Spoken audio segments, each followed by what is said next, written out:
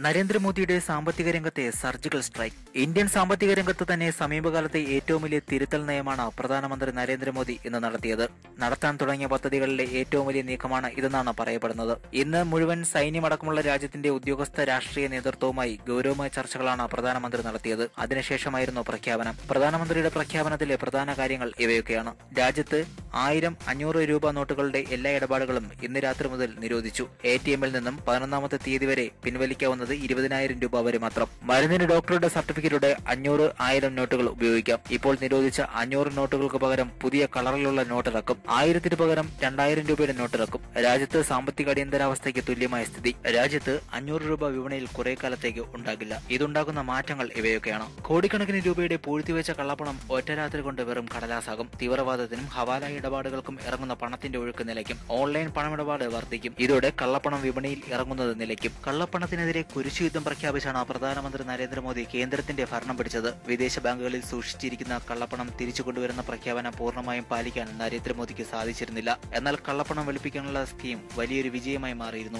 വൻകിടക്കാരായ കള്ളപ്പണക്കാരിൽ നിന്ന് കുറച്ചുപേർക്ക് കള്ളപ്പണം വെളുപ്പിക്കാൻ അവസരമൊരുക്കി. അതിനുശേഷമുള്ള സുപ്രധാന തീരുമാനമാണ് രാജ്യത്ത് ആയിരം അഞ്ഞൂറ് രൂപ നോട്ടുകളുടെ എല്ലാ ഇടപാടുകളും ഇന്ന് അർദ്ധരാത്രി മുതൽ നിരോധിച്ചുകൊണ്ടുള്ള തീരുമാനത്തിലൂടെ മോദി കൈക്കൊണ്ടിരിക്കുന്നത്. ഇതുവരെ ആർക്കും ആലോചിക്കാൻ പോലും കഴിയാതിരുന്ന തീരുമാനമാണ് നരേന്ദ്രമോദി നടപ്പിലാക്കിയത്. ഈ തീരുമാനത്തിലൂടെ കള്ളപ്പണക്കാരുടെയും കൈക്കൂലിക്കാരുടെയും നെഞ്ചിടിക്കുമെന്ന കാര്യം ഉറപ്പാണ്. ഒറ്റ രാത്രി കൊണ്ട് ആവിയായി പോകുന്നത് അഴിമതി ചെയ്തും കൈക്കൂലി വാങ്ങിയും ഉണ്ടാക്കിയ പണമാണ്. പാകിസ്ഥാൻ ഇന്ത്യൻ സമ്പദ് വ്യവസ്ഥയെ തകർക്കാൻ വേണ്ടി ഇറക്കുന്ന കള്ളനോട്ടുകൾക്കും തിരിച്ചടിയാകും. കള്ളപ്പണമാണ് ഭീകരവാദ പ്രവർത്തനത്തിന് ഉപയോഗിക്കുന്നതെന്നാണ് മോദി രാഷ്ട്രത്തെ അഭിസംബോധന ചെയ്തപ്പോൾ എടുത്തു പറഞ്ഞത്. നടപ്പിലാകുന്നതിന് നാല് മണിക്കൂർ മുമ്പുള്ള പ്രഖ്യാപനം കള്ളപ്പണക്കാരുടെ സർവ പ്രതീക്ഷകളും തകർത്തു എന്നത് ഉറപ്പാണ്. സാമ്പത്തിക അടിയന്തരാവസ്ഥ നടുവൊടിക്കുന്നത് കള്ളപ്പണക്കാരുടെയും കൈക്കൂലിക്കാരുടെയും തന്നെയാകും.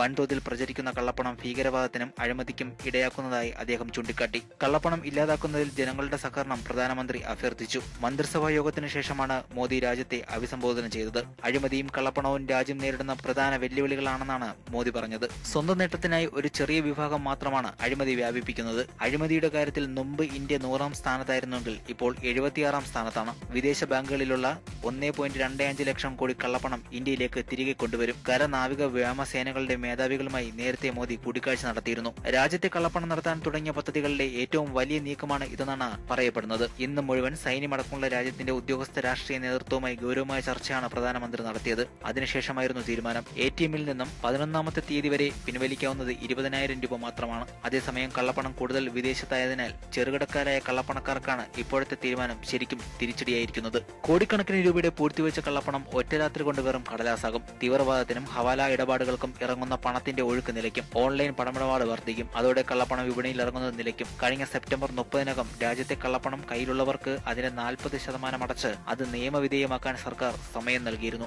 സർക്കാരിന്റെ അനധികൃത സ്വത്ത് നിയമവിധേയമാക്കൽ പ്രകാരം ഏതാണ്ട് ഒന്നേ പോയിന്റ് മുപ്പത് ലക്ഷം കോടിയാണ് സർക്കാരിലെത്തിയത്. നാല് മാസത്തെ കാലാവധിയായിരുന്നു ഇതിനെ ഏർപ്പെടുത്തിയിരുന്നത്. പുറത്തു വന്നതിൽ അമ്പത്തിയാറായിരത്തി മുന്നൂറ്റി എഴുപത്തിയെട്ട് കോടിയും പരിശോധനയിൽ പിടിച്ചെടുത്തതാണ്. ഇതിലൂടെ സർക്കാരിന് മുപ്പതിനായിരം കോടി രൂപയുടെ അധിക വരുമാനമായി ലഭിച്ചെന്നും അരുൺ ജെയ്റ്റ്ലി അറിയിക്കുകയുണ്ടായി. ജൂൺ ഒന്ന് മുതൽ സെപ്റ്റംബർ മുപ്പത് വരെയാണ് കള്ളപ്പണം വെളിപ്പെടുത്താൻ സമയം അനുവദിച്ചത്. നാൽപ്പത്തി അഞ്ച് ശതമാനം നികുതി അടച്ച് ശിക്ഷാ നടപടികളിൽ നിന്ന് ഒഴിവാക്കാൻ പൗരന്മാർക്ക് അവസരം നൽകിയിരുന്നു. ഇതുവഴി മുപ്പതിനായിരം കോടി രൂപയുടെ അധിക വരുമാനം സർക്കാരിന് ലഭിക്കുമെന്നാണ് സർക്കാർ വിലയിരുത്തലുകൾ. കള്ളപ്പണം വെളിപ്പെടുത്താൻ തയ്യാറായി മുന്നോട്ട് വരുന്നവർക്ക് മൂന്ന് തവണകളായി രണ്ടായിരത്തി പതിനേഴ് സെപ്റ്റംബറിന് മുമ്പ് നികുതി നൽകിയാൽ മതിയാകും. സെപ്റ്റംബർ മുപ്പതിനു ശേഷവും അതിന് തയ്യാറാകാത്തവർക്ക് കടുത്ത ശിക്ഷയുണ്ടാകുമെന്ന് പ്രധാനമന്ത്രി നരേന്ദ്രമോദി വ്യക്തമാക്കി. കള്ളപ്പണ നിക്ഷേപമുള്ളവർക്ക് നാൽപ്പത്തിയഞ്ച് ശതമാനം നികുതി നൽകിയാൽ നിയമ നടപടിയിൽ നിന്നും ഒഴിവാക്കാമെന്നതായിരുന്നു കേന്ദ്ര സർക്കാർ പ്രഖ്യാപിച്ച കള്ളപ്പണ വെളിപ്പെടുത്തൽ പദ്ധതി. സെപ്റ്റംബർ രണ്ടായിരത്തി പതിനേഴിനുള്ളിൽ മൂന്ന് ഗഡുക്കളായിട്ടായിരിക്കും ലഭിച്ച തുക അടയ്ക്കുക. ഇരുപത്തിയഞ്ച് ശതമാനം നവംബർ ഇരുപത്തിയഞ്ചിനുള്ളിലും ബാക്കി ഇരുപത്തിയഞ്ച് ശതമാനം മാർച്ച് മുപ്പത്തിയൊന്നിനുള്ളിലും അടച്ചു തീർക്കും.